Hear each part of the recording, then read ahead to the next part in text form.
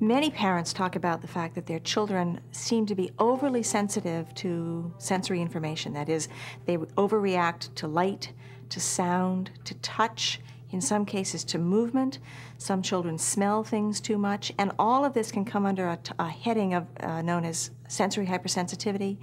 Um, one of the subheadings is tactile defensiveness, children who react very strongly when touched, especially when touched unexpectedly. Now, Larry, you know, we work hard to give hugs and all that stuff, but it was like this just irked him. And it was hard for me as a parent to ex- accept that um, I couldn't hug him the same way. I couldn't feels show. like rejection. Yes, that's a good observation. My daughter's very sensitive with smell.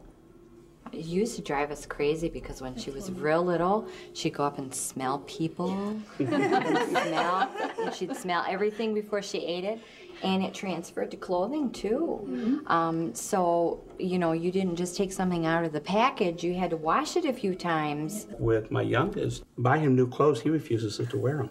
I could buy him new old clothes, and he still doesn't want it. Put a hand in. Put an arm in your shirt. He wants clothes that he has worn, that he knows how that piece of clothing is going to wear on him, where it's going to touch him, how it's going to react if he turns his head or his arms or whatever. Shall we turn him inside out? Hmm? Shall we turn him around so they don't bug you? My child is sensitive to the seams in clothes, underwear, socks, and so on. And for a period of time, when you turn the socks inside out and turn the underwear inside out, that's okay because they think she dressed herself. Hmm. And, you know, so she got them inside out.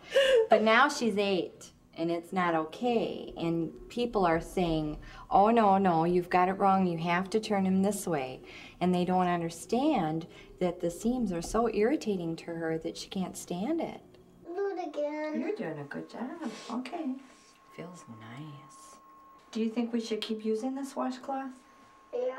Things that are soft really work well. I know even uh, we live in a northern state, and when I'm shopping for caps, ski caps, and stuff, I always check to see if it's soft or scratchy. Um, uh, jogging outfits are wonderful. Um, there aren't a lot of seams, and it's loose enough that the seams don't chafe them. My youngest, he likes things that are noisy because he has some vision impairment. But he doesn't like loud sounds. He doesn't like unexpected sounds.